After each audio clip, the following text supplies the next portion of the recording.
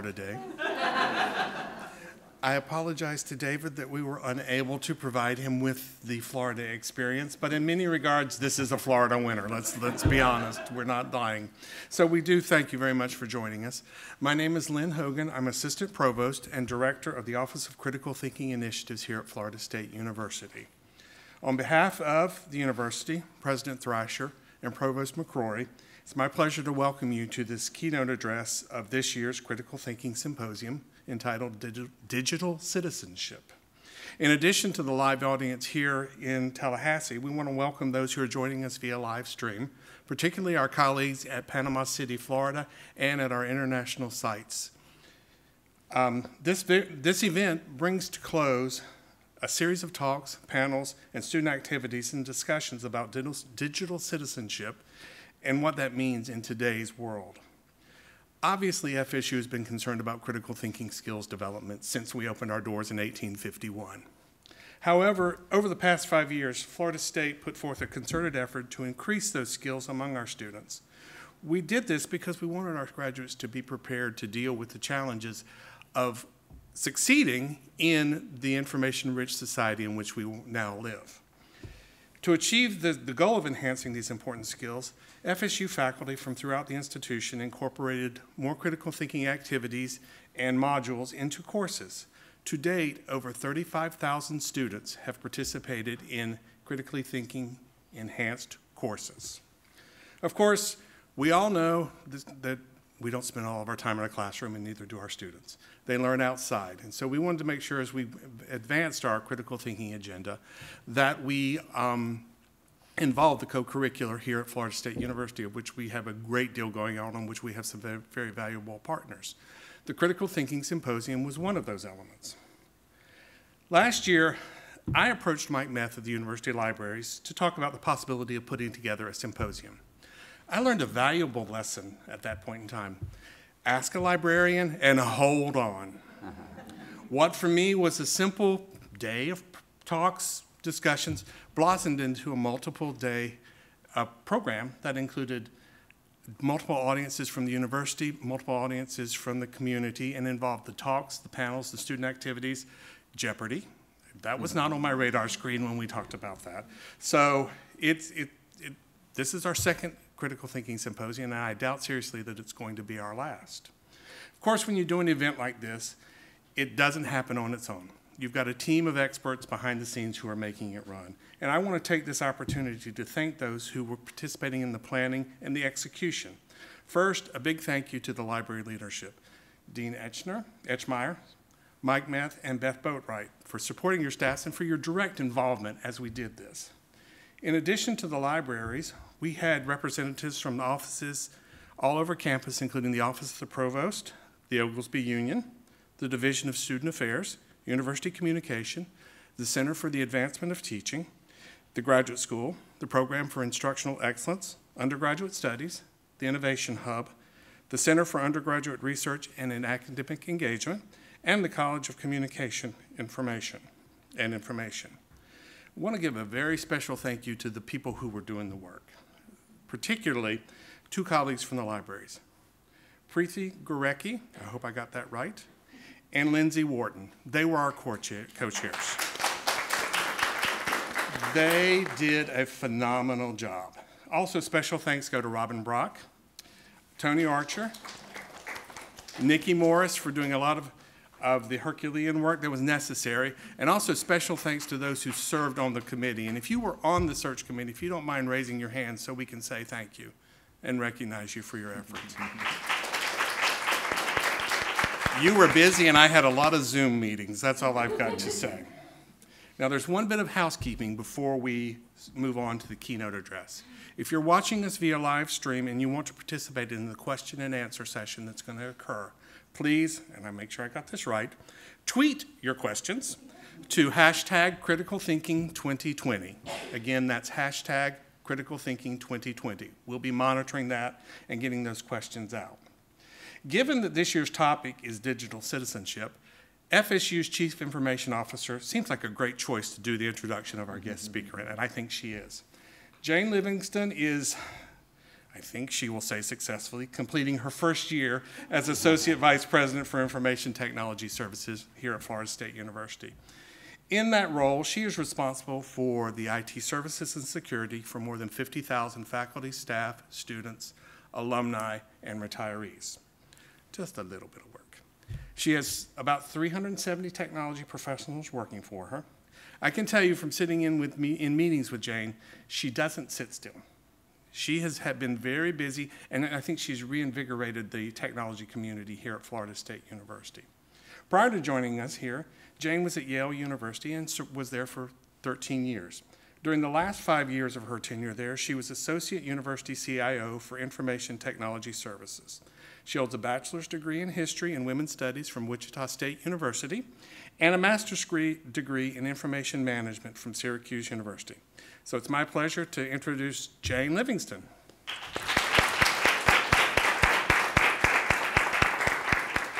Hi, everybody. I am delighted to be here to introduce our, um, our, our, speaker. Um, so when, when, when Len asked me to um, come and talk to you, I, I was like, I'm, I'm so absolutely delighted to he, be here to talk and to listen to the talk about digital, digital citizenship. Digital, digital citizenship. I'm going to try again. I'm going to take a breath. Digital citizenship and the, the, the, the impact of ethics on digital on the digital world. So we all know technology's changed the world in the last, in particular in the last three decades, right? I mean, internet, iPhones, social media, they've all changed the way we perceive and interact with the world around us.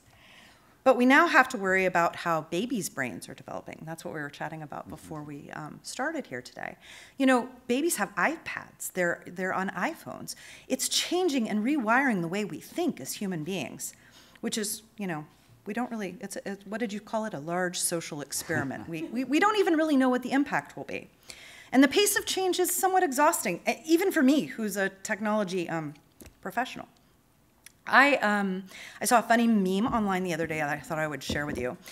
It said that 20 years ago, the internet, the internet was an escape from reality. But today, reality is an escape from the internet. And it's so true, right? We all dream about vacations where there's no cell phone coverage, where we don't have to answer our phones or think about the email that's piling up back at work.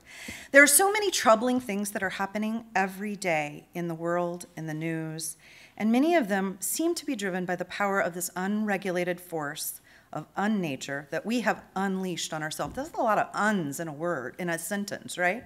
Like it's all kind of unintentional. We didn't intend to do any of this.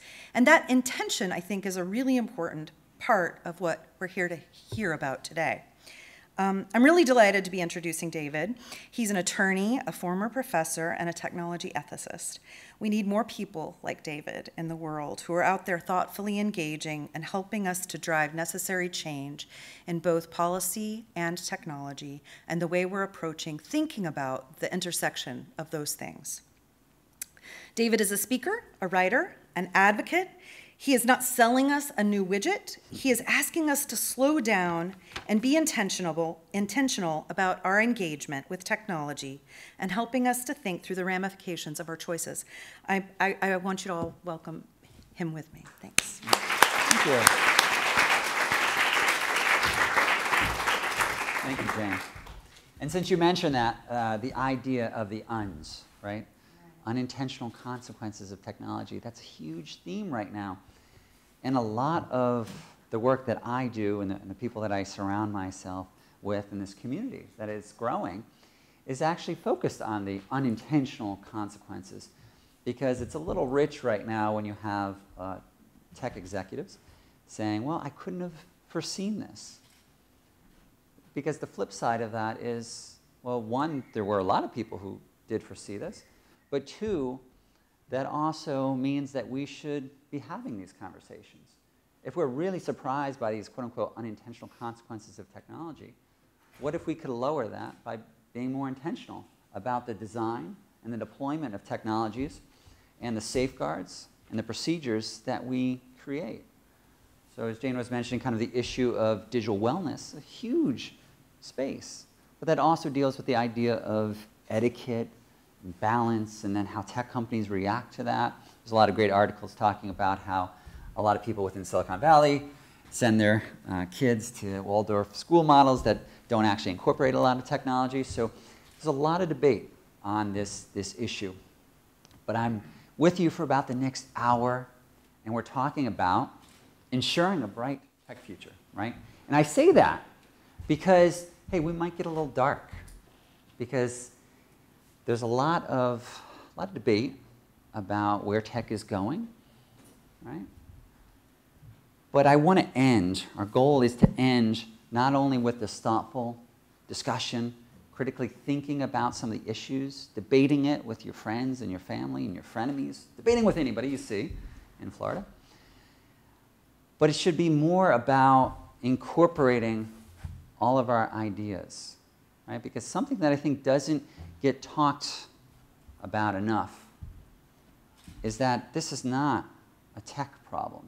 I incorporate that in, in some of the slides, but it's something to reiterate because I know when I started out, because again, I have a background as an attorney and educator, and about 2012, when I started doing a lot of writing and speaking on a lot of these topics, if somebody sees tech in the, in the phrase of your description, they sometimes think, like I, I had one, one uh, lady show up one time and she said, so can you help me build a website? Can you, can you fix my computer? And I said, no, actually, that's, that's not my background. I'm not talking about the newest gadget. I'm talking about what is that gadget doing to eye contact, our ability to relate to one another, our ability to understand and critically think or not. Right? Emerging technology and social media has altered the way we love, learn, right? Even how we die, how we express ourselves, how we form our reality, the human condition, the human psyche. That's a big deal.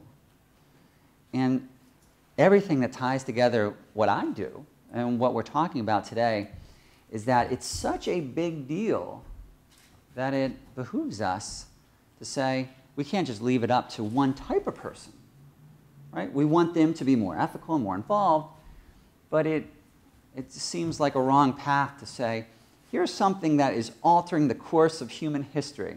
Let's just leave it up to one part of the country and one country in the world and a certain type of person if it's a certain type of demographic.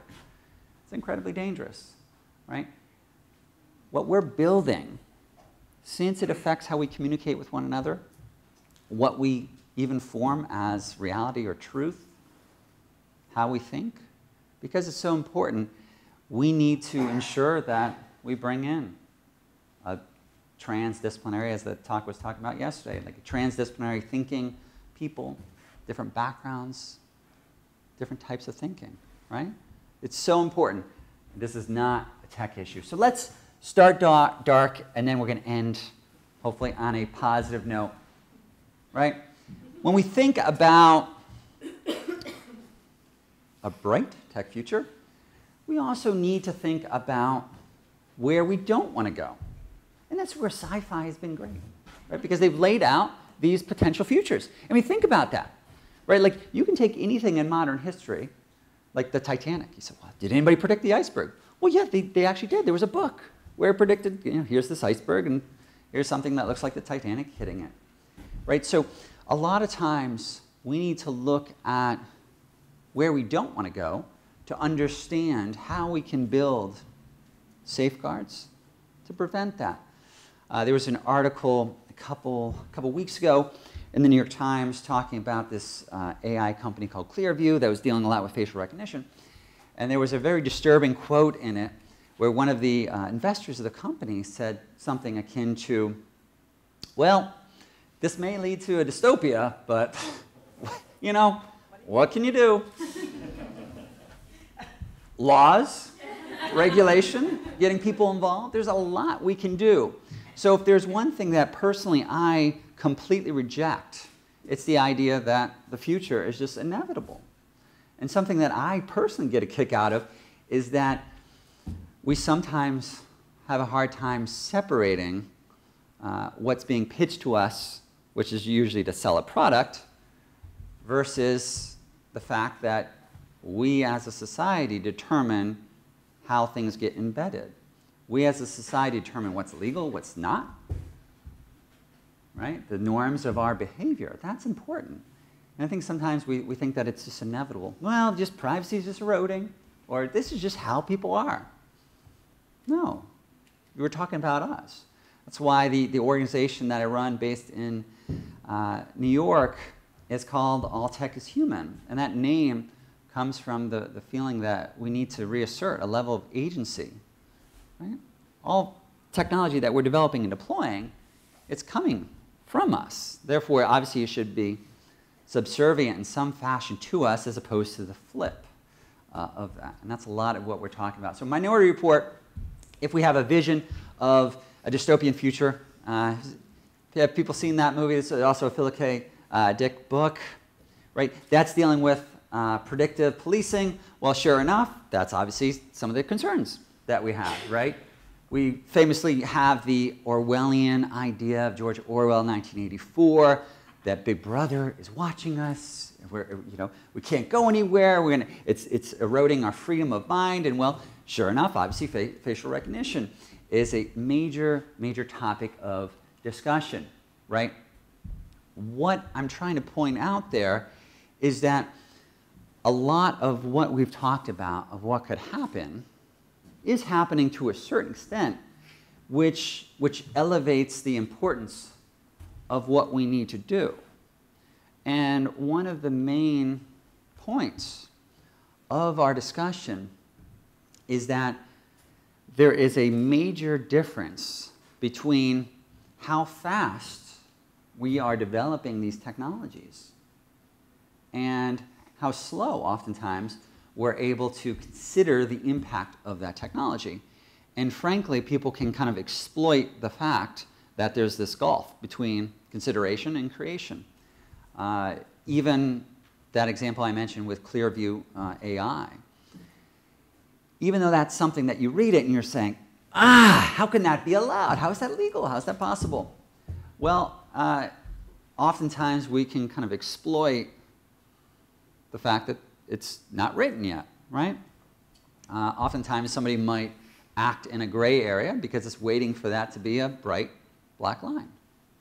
And that's a lot of what we're discussing. But to make this uh, you know, hyper relevant, especially along the idea of critical thinking, it's a funny, funny world uh, we have going right now. Uh, unfortunately, with uh, you know, all the pandemic discussion, there's now talk about an infodemic, right? That there's so much misinformation uh, around, around this that it's obviously creating a lot of problems. People are trusting wrong advice. Like there was this, uh, you know, word was spreading that if you ate garlic, that that could, could prevent you from getting this, and that's not true.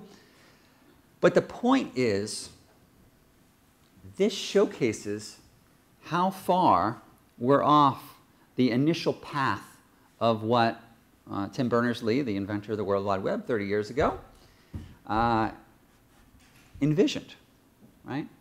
And I say this too because from my own personal history and uh, motivation for getting involved in this space, if you will, is that in my formative years, right, I, I recall being in, in high school and then reading about well, the information superhighway. That it didn't matter if you were in Timbuktu or Kathmandu, that you could have all of the world's libraries, all of information at your fingertips. Wasn't that going to be great? The fact that you could break down barriers meant that we would see that there's limited differences between cultures. And the fact that we would have access to all this rich information meant that we would be elevating conversation. We'd be elevating our knowledge and our intelligence. The web and the information superhighway was supposed to make us smarter. That's the idea, right? That's the goal, that's the hope. But here we are in 2020, and some of the hottest discussions are is the earth flat? Right? Sorry, it's not. But th- that is hilarious and hilariously sad at the same time because that's the opposite of what this was setting out to do, right? This is why even companies now, because of this social pressure, are getting involved and saying, okay, well, this isn't a good thing. We don't want people dying because they're getting misinformation. This isn't just, as a couple years ago, everybody was joking around silly cat videos. This isn't just silly cat videos. Democracy and, and, and speech and information, that's at stake. That's, that's a big deal, right? So a lot of this discussion is getting into this idea of, as a society, we're realizing the importance of what we are creating and the safeguards that we either create or, or don't have, the regulation. And there is a massive interplay that's occurring between us as individuals and our ability, or potentially right now, inability to affect the process, and then also how industry operates, the pressure that they receive or don't receive, the regulation that happens or doesn't happen, and then media. What's the media's role in this? All of those are interplaying. I say that because one of the most common questions I get is somebody will say, well, David, then, then who's to blame? Right? Like that's, a, that's a common media question. Who's to blame? So is this, is this Facebook's fault? Or is this because users should read the terms of service? And the answer is that it's everyone, right? We're all uh, interplay. We're all affecting the other part. Because the more that the media focuses on educating the general public about some of the issues, then the general public is better understanding of this and then pushes pressure on the legislative branch, which then creates laws, which then makes things that were legal now illegal, which changes industry. All these parts are pushing one another. And that's something that we don't usually uh, think about. We always focus on one part. Even as Jane was mentioning with uh, digital wellness, right? How we use our smartphones. Uh, I've been involved in that space. Uh, there's been a lot of talk about quote unquote tech addiction. And early on, uh, it was always a focus of, well, then just put away your, your phone. This is a willpower issue. Whereas then you started getting into, yeah, but isn't it design of the product? And what shouldn't we also have the right to change the design of the product if we're realizing that it's creating a societal issue? right? We're about critical thinking, right? And one way that we really need to conceive of this is that it's a complex problem that demands a comprehensive solution that involves multiple stakeholders, right?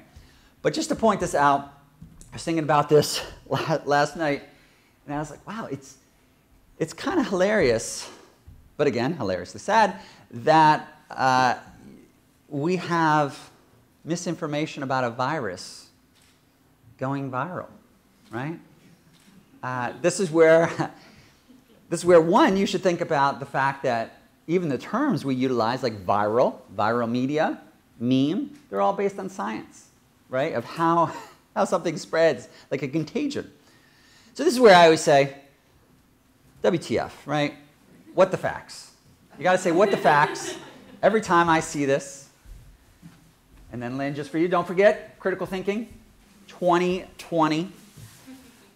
But the point is, we sometimes need to recognize the absurdity of where we're at. Right? We are off the vision of where we need to be. But the reason why, you know, uh, I'm still an optimist and we started with the description of ensuring a bright tech future is because you still need to have, hopefully, a non defeatist type of feeling that, well, then how do we get more people on board? Right? We have so many issues over the years that we as a society have struggled with, but we've come together to propose solutions and then iterate on those solutions, right? So just pointing that out, we've gone from information superhighway to infodemic. That's why we're doing this. I point this out. Somebody know Ron Popeil? Set it and forget it. The reason why, and I wasn't sure of the, uh, you know, appeal of Ron Popeil, But uh, that seems to be something that has happened that so many times when you talk to technologists, and the viewpoint that I'm bringing is that I have a pretty crossover experience where day to day I'm dealing with organizational uh, folks, uh, industry, advocacy groups, so a diverse group of people.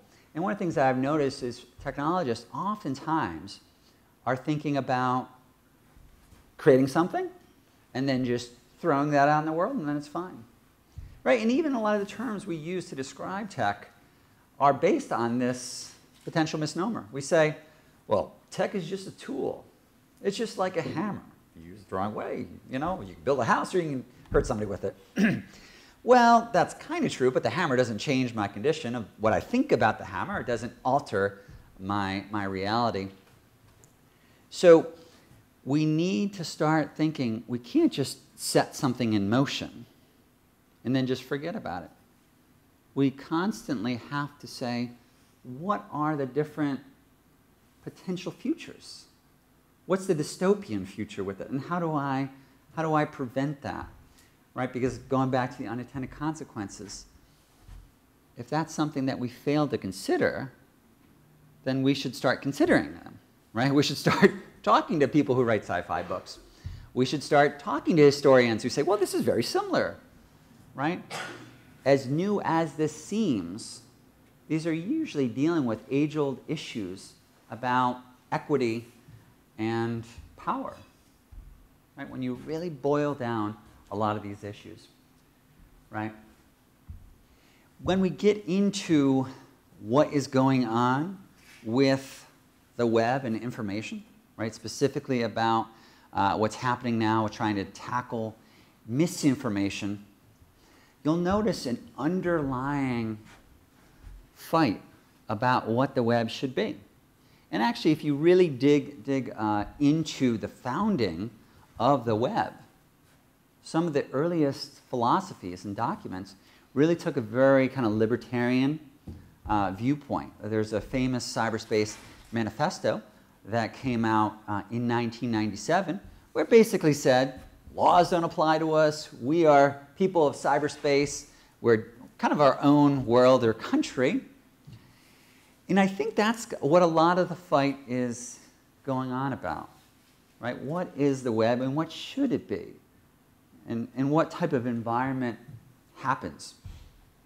Also, this idea of the marketplace of ideas. So much of how, specifically, we set up social media companies and the laws that, that apply to social media companies is based on this idea that, of course, we can set it and forget it because guess what?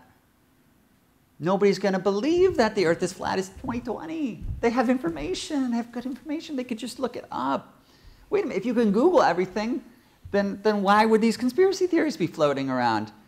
They can just fact check it. That is not obviously working. Something about the system is, is, is breaking, uh, and they actually have some interesting studies about that. And what they're finding, as this MIT 2018 study found, is that unfortunately, false information will spread faster. It has more of a contagion or viral effect. And a lot of that, too, is how we set up social media, right? Social media companies uh, at the end of the day, are an ad-based platform. And as an ad-based platform, the collection and uh, how you converse is usually built around kind of appealing to the people who are funding it, right? And also, because it needs to show you more ads, it has a kind of a perverse incentive to keep you on the platform longer, right? It's not about selling you one thing that you either enjoy or don't. It's about kind of the uh, attention uh, economy type of, type of idea. So that's kind of what we're struggling with there, right? So, as I mentioned, but I think it's worth repeating, the focus of so much of this is how then, if we're talking about critical thinking, how then can we start saying these aren't these aren't something these aren't just tech issues just left to, to a tech company in a state far away. Instead, these are just like any other issue that we might get involved in the political process. I really think if we're looking ahead to the next couple years, what we're going to see is a greater integration of how we talk about tech issues and then how we're just thinking about social issues and then incorporating that more into the general political process. Right? Kind of as I point out, but just with a visual, this friction, and this is where then I kind of get into a little bit with uh, what I do with All Tech Human, but the point is the reason why I want to focus on consideration is because a lot of people fall into a trap when they talk about um, tech and safeguards. Because what will happen is they'll say something like, yeah, you know, it's, it's too bad what's being released on fill in the blank type of technology that maybe we're debating how it's going to be used, enforced, how it affects our privacy. And then the next line will be, but you know, American ingenuity, you can't slow down innovation, right? That's always the line. So the point is, what if it's not about necessarily slowing down innovation? What if part of the problem is that our consideration is inadequately slow in order to consider consider that right you take any type of technology we're talking a lot about drones and we had dancing with drones in, the, in a talk yesterday well drones right there's famously a, a technology that got out there, then people started using them, then started flying into things, and then, and then planes and pilots started getting upset, and they said, what are the rules on this? And they said, oh, we need some rules on this. Uh, the point is, we're starting to realize that we can release something and the general public can adopt it before we've had a chance to say, how should it be adopted? What are the safeguards, right? So there's countless examples of that happening. And what we're really trying to do is speed up this type of consideration. Here's another important part of the process that I think it's, it's worth mentioning. We are all not on the same wavelength. Okay? And I'm going to repeat that because it's something we constantly forget. Uh, I remember being on a panel a couple days after Cambridge Analytica uh, scandal broke, uh, you know, for affecting Facebook, and then realizing how information was, was being shared with a friend of a friend on their platform. And I remember the other person who was on the, the panel with me said, well, I, I don't, I mean, it's a big deal, but didn't everybody already know this is how this works? Didn't the general public already know about like retargeted ads? And the point was no, right? What happens a lot of times, and I see this firsthand uh, within industry, is that oftentimes you can take a non-answer as an, uh, as, as an answer right? So, so if you said to your significant other, hey, you know, uh, we're going to go to see this uh, Ryan Reynolds movie and then they don't say anything. Oh, okay. They didn't say no, right? So you know, sometimes sometimes you set up a question where a non-answer can be an affirmative, right? So that's similar to a lot of what has happened within tech. We've developed so much uh, emerging technology, and we put it out into the world. And then, from a technologist standpoint, we assume that because there is not a backlash the lack of a backlash is akin to a thumbs up. That because people didn't complain about privacy concerns, then they don't have privacy concerns. And that used to be a big threat a couple years ago, right? Privacy is dead. Nobody cares about privacy. New article, millennials don't care about privacy, right? There's a lot of these articles. And then you look at the last couple years, uh, it turns out privacy is dead, long live privacy, right? So it's just a different type of formation of an understanding of, of privacy, right? I also like to point out, I think one of the reasons why uh, we talk about ethics in technology is partly because of our own frustration of the lack of, of laws around it. As I'll talk about, one of the, actually the most consequential law affecting social media companies is the uh, Communications Decency Act of 1996. I'd like to emphasize, and if I could bold something, I would bold the 1996 because that is before Google was founded, and that's well before Facebook was founded. So we should sit on that and say, the most important law that dictates how social media, which is how we're receiving our news and talking to people, was written before social media. Uh, therein lies the problem, right? And I think that's why, in a lot of times, we're talking about the ethics of technology. Because we need to also think, oftentimes, that acts as kind of a canary in the coal mine of, of what might, in the future, be illegal once we come to kind of a, a mutual understanding as a society. You, you think of massively cultural upheaval types of issues over the years in this country, right? Uh, let's say around like women's suffrage and slavery.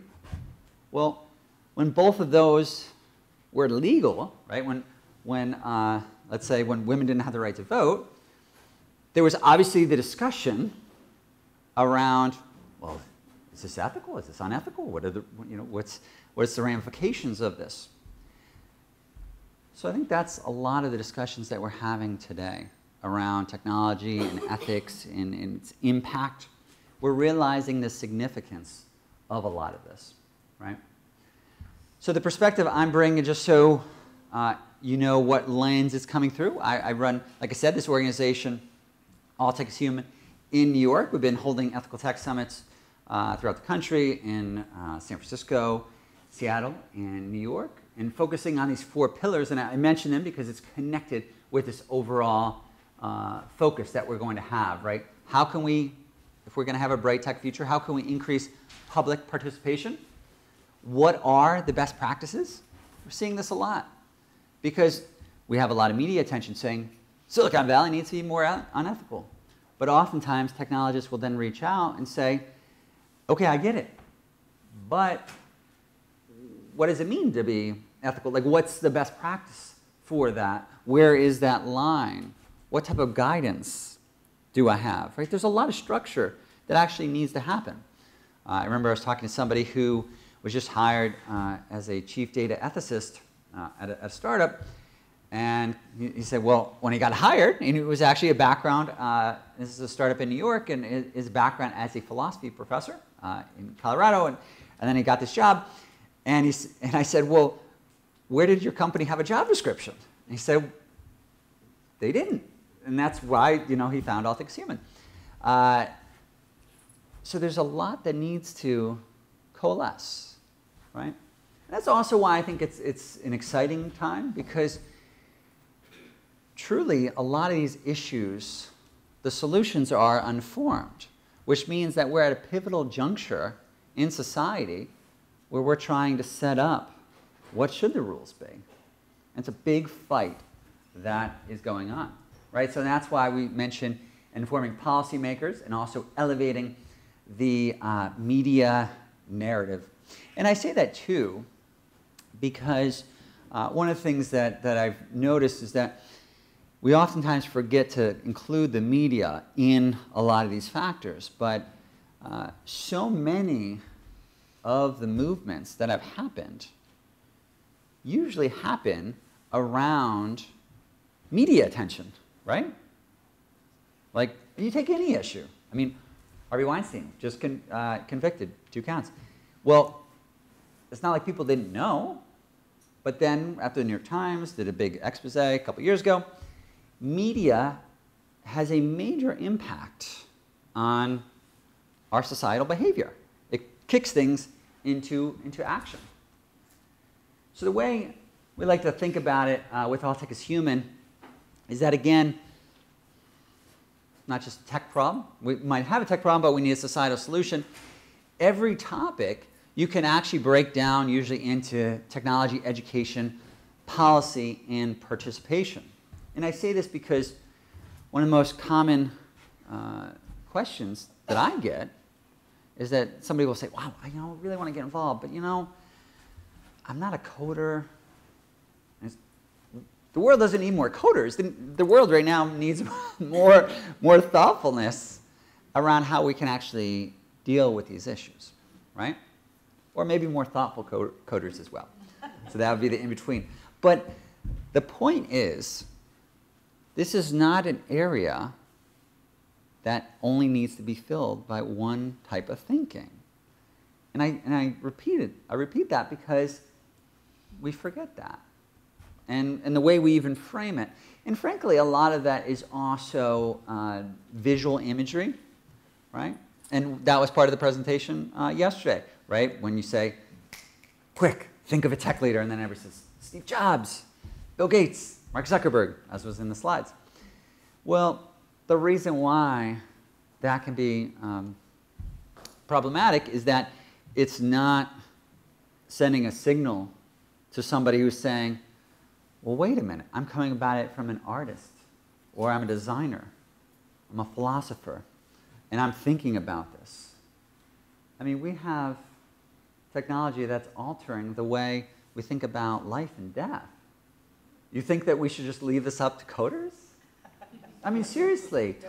The, the, no, I, and, and, and frankly, uh, one of the personal motivations I had where it really kind of hit me over the head of um, how important this issue is, is I remember a bunch of years ago, uh, you know, having, having Facebook, and this was before Facebook was pushing to mobile. And um, I had this friend request, and that was before, before you instantly could just click it. And then I had a friend call me up, and this was a friend, uh, Jared, and, and then I heard that he committed suicide. But I still had the friend request. And it was kind of jarring in the sense that you're playing with our conception over finality. Right? And this even happened yesterday. Uh, I had the same thing. Somebody who was dead said, Wish this person a happy birthday. Send him good thoughts. Right? We sometimes forget that we're altering how people relate to the world. Again, it's a big deal. All right. To add a little levity, some of you may have seen this, but I think it's important because if we bring up policymakers, we need to assess where we currently are. Uh, so this is a, uh, a good clip. This was done two years ago, and this is right after Cambridge Analytica. Mark Zuckerberg uh, was called uh, in front of the Senate. Mr. Zuckerberg, I remember well your first visit to Capitol Hill back in 2010. You spoke to the Senate Republican High Tech Task Force, which I chair. You said back then that Facebook would always be free. Is that still your objective? Senator, yes, there will always be a version of Facebook that is free. It is our mission to try to help connect everyone around the world and to bring the world closer together. In order to do that, we believe that we need to offer a service that everyone can afford, and we're committed to doing that. Well, if so, how do you sustain a business model in which users don't pay for your service? Senator, we run ads. I see. That's great. Hey, NBC. Thanks for checking out So there you our go. YouTube channel. Subscribe by clicking on Yeah. the button down here and click on any of the videos over here to watch the latest interviews, show highlights, and digital. Ex- Yep. so you see there that there's oftentimes a lack of understanding about what tech is and what social media companies are. And a lot of that, again, was, was even how we, we framed it. Hey, it's just a bunch of, of young people who are trying to change the world. They don't care about money, right? That was the original kind of, kind of pitch. And now we're starting to realize, no, these are ad-based models that, you know, they have shareholders who are, who are trying to extract more, more wealth, right? So how is that going to play out? when those are also the same systems of communication we use to get news and spread news. There's oftentimes a misalignment because on one hand we say, well, wait a minute, this is a utility, right? We treat this as if it's, wait a minute, this is my speech, right? Whereas a company is saying, I'm a company, I can kind of do what I do what I want. So I think that's where in the future we're going to alter our kind of relationship and understanding of how we consider these companies, right? They might have to be some hybrid type of almost quasi-governmental uh, type, of, type of relationship, just because we're starting to realize the impact. So I like to refer to this as the symbiosis of safety, this idea that it's this interrelationship that I mentioned. But just as a quick kind of example, uh, think about safe driving, right? I mention that because we oftentimes have a tough time conceiving of, of this kind of multi-dimensional uh, type, of, type of impact, right? We say we care about safe driving, right? We do. But when you jumped in a car today, on one hand, safe driving can seem like an individual decision, right? You could be a safer driver because you're awake, you're not on your phone, you're, you know, you're looking straight ahead, you're not distracted, you're following the rules, 10 and 2. But it's not as simple as that, right? Because safe driving, if we care about car safety, we also think, well, what about the safety of the car? Does the car have airbags? How was that car tested? Wait a minute. They're driving on a road and there's potholes. Who's fixing the potholes? Right? Right there, you've had a combination of saying you needed to have laws and regulation and safety and debate and, gov and governmental bodies involved. You have this idea that when we're thinking about tech, that it's just an individual. It's, it's myself and my phone, right? Whereas in fact, it's, it's kind of this interrelationship that is happening where in order to build a, a bright tech future, we need to start saying, okay, well, similar to driver safety, what's the education we're having?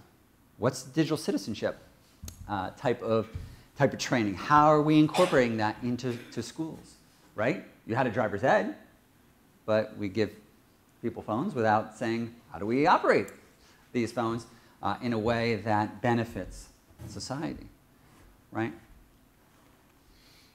Mention uh, Ralph Nader, Unsafe at Any Speed, because that's something we oftentimes forget, is that everybody today, when they jump in their car, they put on their seatbelt.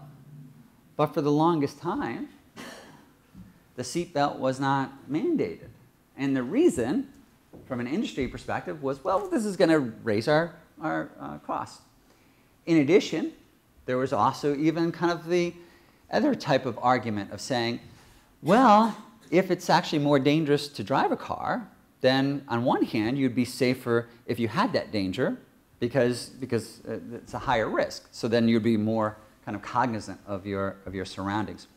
So the reason why I mention that is because we oftentimes like to think that we're just kind of fixed in a current moment. Whereas in fact, it's usually through advocacy and communicating ideas differently and getting different groups involved in something that's going to actually alter the course of, of history. So if we focus specifically on social media, again, so many issues that we could talk about with emerging technology impacting us as a society, but I think from, uh, from a perspective that, that we can all kind of have a shared experience with, uh, Facebook, Twitter, other social media, probably the most familiar. So the way I like to think about where they are uh, currently is, is right here, right from, from The Simpsons, uh, in between a rock and a hard place. And, and let's explain why. Right? And this is, again, why we want to point out that these are complex problems. And we cannot necessarily just have knee jerk reactions to say, well, then we should have, then we should tag everything that's, that's, uh, that's false. Uh, or maybe the, the uh, platform should just take it down. That might be true, but it also needs to have an understanding and debate around how would that happen? Who is judging what is truth and what's not truth? What's the transparency about that system of judging? What's the impact when something is even labeled as potentially false? Because that's the unfortunate part about trying to tackle misinformation is what they find is a lot of, bless you, a lot of uh, conspiracy theorists when they are triggered with, with an indication that something is false, it, instead, of, instead of it being the, you know, ah, facepalm, I, I can't believe I almost fell for that, it tends to be, ah, this is part of the conspiracy. Look at this, look at this establishment media. Of course they want to tell me that this isn't real. The plot thickens, right? And maybe it's exciting.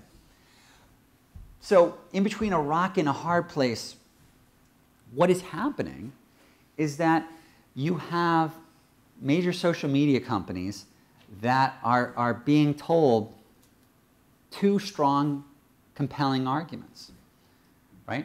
They're being told that the way it's at right now, it's not sustainable. So we need to do something about hate speech and misinformation. We need to deal with this. We need to decrease toxic behavior online. But the problem is what happens when they do? And also, are they in the position to make that call? Right? Can they actually make that, that call? The way we need to think about it is we oftentimes like to think of platforms as being a public square but I'll explain a little bit why they are not, right? So we want these platforms to do the right thing, but we have to, as a society, debate what that right thing is. And that's why if you look at some of the current movements of what social media companies are doing, they are creating, uh, like Facebook, for example, is creating a task force that is uh, going to create precedent around what is appropriate, what's inappropriate speech. And a couple, about a year ago, it got a lot of media attention. They said, oh, there's going to be a Facebook Supreme Court. And a lot of people scratched their head. They said, Facebook Supreme Court? Why does this make any sense? The reason why it, it makes some sense is that when you're in a public square and you say something that is inappropriate, the reason why it's inappropriate is because we created a law that says, here's what is allowable speech. And then we've created understanding that political speech is in the center of that type of speech and what you can and cannot say. And then through the court system, right, we, we say this is allowable and this is not allowable. And then that system is transparent. So you can kind of interrogate that system of understanding. And because governmental bodies, right? Because these elected officials are kind of a stand in for us, they have some level of uh, kind of moral authority to make these decisions. So, part of the issue of what's going on is that social media companies have been giving a lot of power, right? But what do they do with this power? I would argue they don't, frankly, even want this power because it comes with a lot of tremendous amount of uh, complication. So it's, we're at a point where large companies have a power, they're doing a lousy job with it, and they don't even want it. So we as a society are struggling with saying, how do we adjust to this? How do we incorporate a better type of system, right? That's what I'm talking about with the public square. So if you really look at what's going to happen most likely in the, in the future in this space, we're going to start saying, okay, well, if we want to make this statement more true, that Twitter is a public square, then shouldn't our ability to interrogate the system and understand what's appropriate and what's not, shouldn't that be similar to then my relationship to an actual public square? Right? We've got to have some uh, you know, better, better type of relationship with it. Also, uh, as I'm kind of nearing, uh, nearing the end, so I'm going to go a little quicker. We're going to come back to Section 230 because that's going to come up a lot in the next year or two. There's even a lot of debate right now of whether they're going to start chipping away at it. Right? It's always a trade off. As we've moved more of our lives from offline to online, what has happened is we've transferred our lives there, but we haven't necessarily transferred the safeguards and understanding about how we communicate and how we relate to one another in those spaces. Right? I think I'll just switch over to this quote and then uh, have another kind of closing one.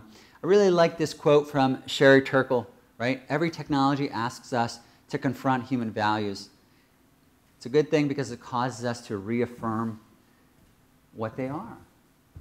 So we've gone through, in the last couple years, a major amount of disruption. But really, in one respect, what it's done is it's caused us to actually say, how should we develop these technologies? Right? How should we deploy them? What types of systems should we, should we make?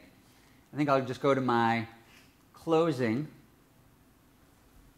although I will quickly point out one of the uh, friction points with how we're viewing these is that you have different types of thinkers, right? And that oftentimes, I mean, this is a little bit what Jurassic Park was trying to get at, but engineers, can I, right? Can you build a dinosaur? Can you make a dinosaur from amber? Versus, well, should I? And then you have law that usually comes in with a more bright line of here's what you can't do, or here's what you must do. I think I'll go to my closing. So, what we really need to do if we are looking for this bright tech future is we want to start thinking about our values. We're saying we want tech to be more ethical, but that also means we need to understand what we agree on is ethical versus unethical. What's appropriate, what's not appropriate. And also, if we can have that societal agreement about how we want to operate online, we need to be able to inject that into the process because right now it's currently disconnected. But I will say, since we did mention it, we're going to end this on a bright uh, tech future. Uh, as dark as it can get sometimes, you run into hundreds of people who are doing this as their, as their career, as their job, trying to kind of make a dent in this, trying to say, well, I have a background that has value to this. This is something that maybe we didn't think about. This is a different angle, right? Again, if we can lower the unintended consequences by actually debating what are likely consequences and how can we create that better tech future. So thank you, and we'll take, uh, I think, a few uh, questions here. So thank you. Do we have, uh, I think we're going to be using the mic uh, too, or I can go around too, or?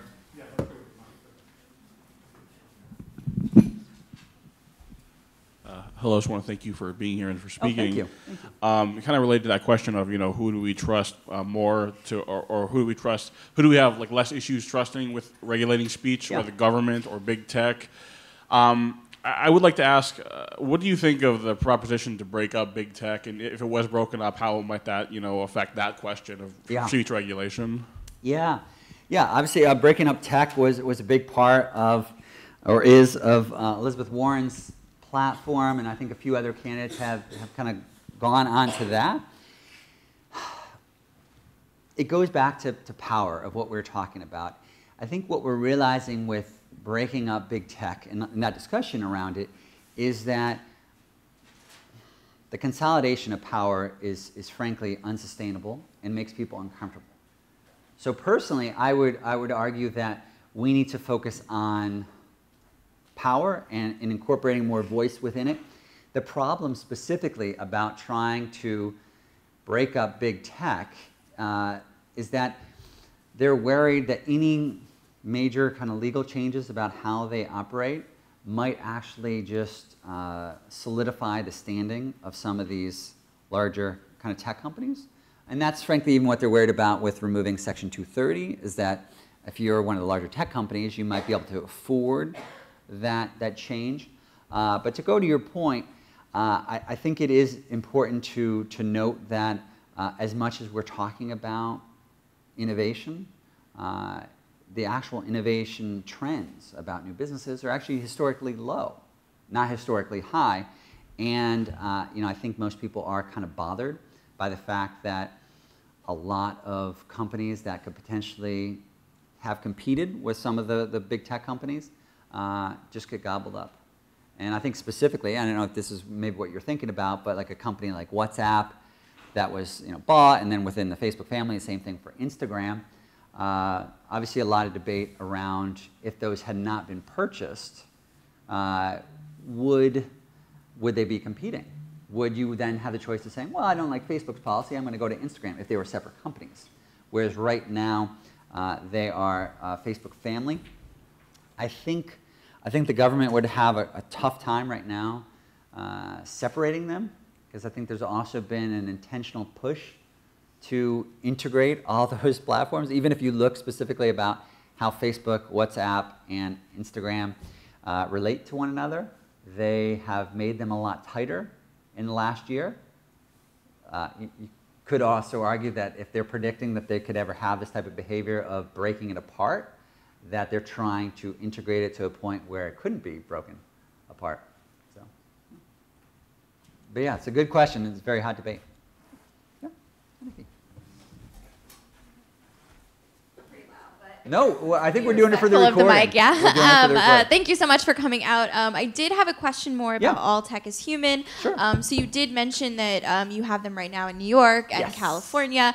Um, is your hope or plan to expand that to more rural areas across the country? Yes. And can you speak to some of the challenges with that and also the opportunities that come with that as well? Yes, I'm glad you mentioned that because uh, that that has been the case for for expansion where like like I mentioned, oh, it's New York, San Francisco, and Seattle, and as anybody could correctly point out, you say, well, those are all coastal coastal cities. Uh, how do you expand outside of that?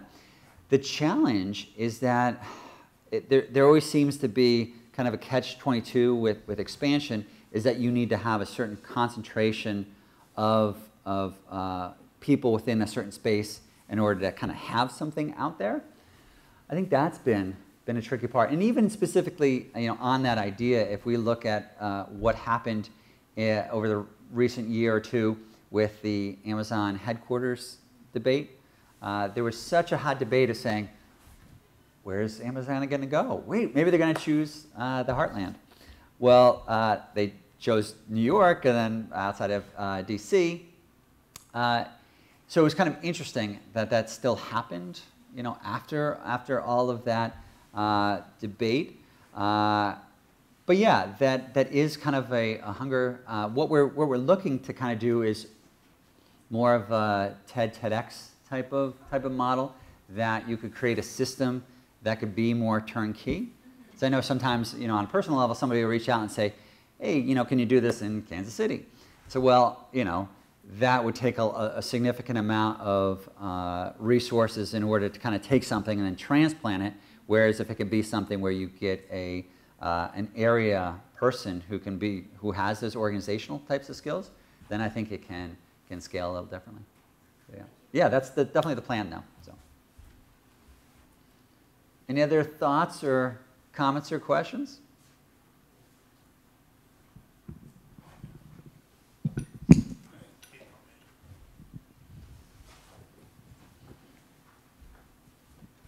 I wanted to jump quickly back to the issue of misinformation, Sure. right? So when I talk to my students about this, which I do all the time, what they're all, they always say, well, shoot, if I were just smarter, if I were a better critical thinker, I wouldn't fall for these scams, right? And I try to point out to them, you're just one person. There's no way that you can understand all of this. And I, I frequently use the analogy of the Food and Drug Administration, right? You can't possibly know every possible food that's safe to eat. So we have an agency that protects you from eating uh, food you shouldn't consume. What would an agency look like at the federal level to protect us from information Yeah, we shouldn't well, consume? they are kind of talking about that, to use that analogy of the FDA, right? You can't have this understanding, even though somebody says, well, you got to be a safe eater. You don't have the understanding of, of, of where your lettuce traveled to, so you have an, an FDA. Uh, you know, I think we're, we're starting to see that uh, there's going to have to be some greater kind of integration of, of how they treat this. It's all over the map worldwide. So, for example, in Germany, they created a law to say, okay, well, this if something is is uh, false, that it has to be removed within a platform within uh, a certain period uh, of time, or else then they get a big penalty. The problem that you you have with misinformation is that we still need to have that trust trust kind of source of saying, okay, here's how we clear a certain bar. Uh, I, I, I think it might be a little easier outside of misinformation, where there's other issues like digital wellness that they're talking about creating some type of agency with, because there's been a lot of struggles, uh, specifically on misinformation. There's a lot of tools that have been created in recent years, like NewsGuard is, is one of them, that will kind of give you a red light or green light through, through information. But what they have found is that for certain, uh, for certain individuals, they say, well, if they're, if they're saying I can't trust this, well, then who is NewsGuard to then determine this? Uh, yeah, I do think that it, if it came from a governmental body, the tricky part would then be how would they be incorporated into a, a private company? Or are they given kind of more of a stamp of approval? Uh, I, where this is probably likely headed is that we seem to kind of be backing up in from from ex great expansion about where information is coming from to now actually coming from certain kind of vetted sources. Uh, so I would imagine that uh, if there was an agency where they could almost say, okay, we're giving this some level of ability to understand it. The tricky part is if any governmental agency gives a firm like stamp of approval, then it's going to be highly partisan. And, and then I think that's going to hit a lot of roadblocks.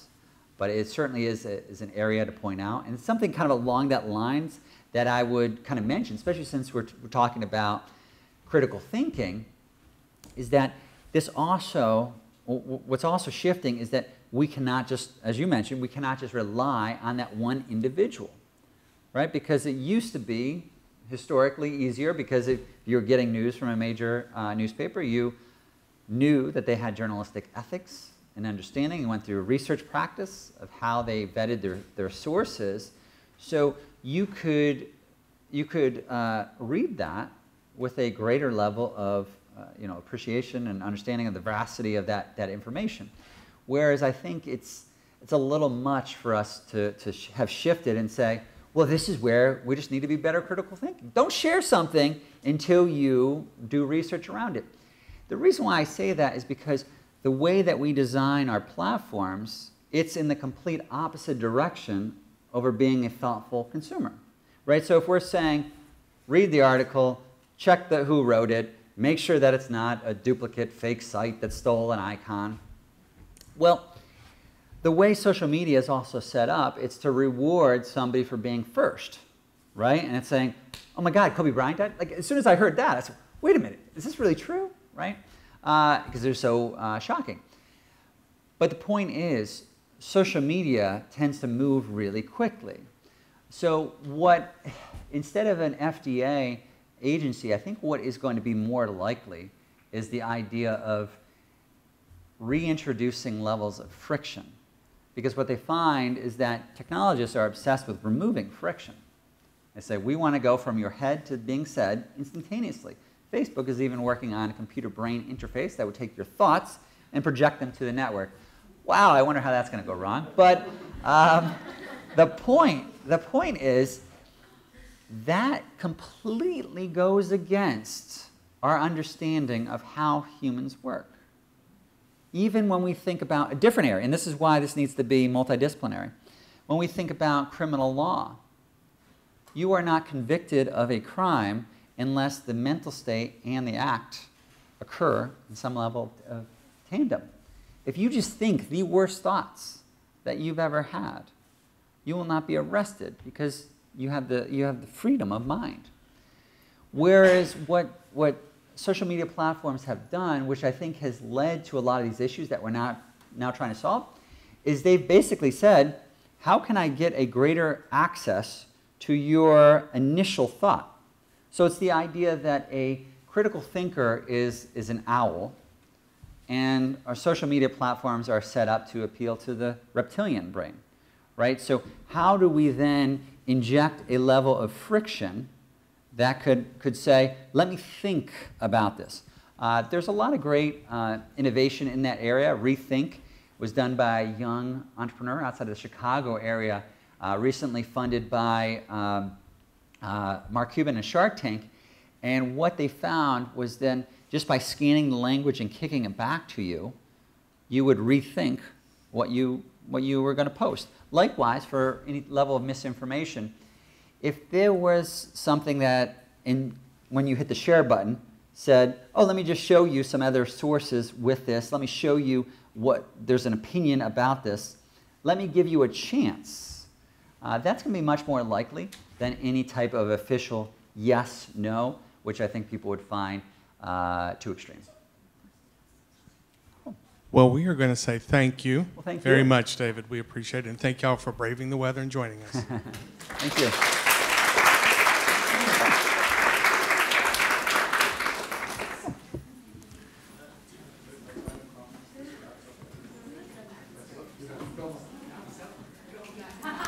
There we go. Thank you. Thank you. Thank you.